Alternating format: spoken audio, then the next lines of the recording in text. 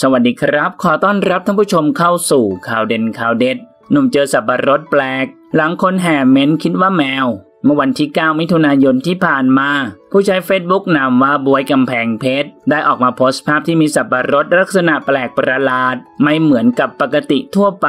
โดยเจ้าของโพสต์ได้ลงรูปพร้อมระบุข้อความว่า เห็นแล้วกินไม่ลง ต่อมาผู้คนต่างก็เข้ามาคอมเมนต์กันมากมายว่า สับปะรดลูกนี้มันมีความแปลกจริง ๆ หากนำหน่อไปปลูกคงจะได้เพิ่มอีกหลายต้น แต่ก็มีอีกหลายคอมเมนต์ที่เข้ามาคอมเมนต์ว่า มองเผินๆเหมือนแมวส้มยืนหันหลังกลางแขนกลางขา ส่วนบางคนก็คอมเมนต์ว่า งานนี้ธูปเทียนต้องจัดเต็ม พร้อมเอาแป้งโรยแล้วขูดอย่างไรก็ตามเจ้าของโพสต์ดังกล่าว ไม่ได้ออกมาชี้แจงอะไรเกี่ยวกับสับปะรดพันธุ์นี้ แต่ที่แน่ๆตอนนี้มีลักษณะที่แปลกไปไม่เหมือนปกติอย่างแน่นอนท่านผู้ชมนะครับ มีความคิดเห็นอย่างไรกับเรื่องนี้ลองแสดงความคิดเห็นกันเข้ามาดูนะครับ ขอขอบคุณข้อมูลจากสยามนิวส์ขอบคุณครับ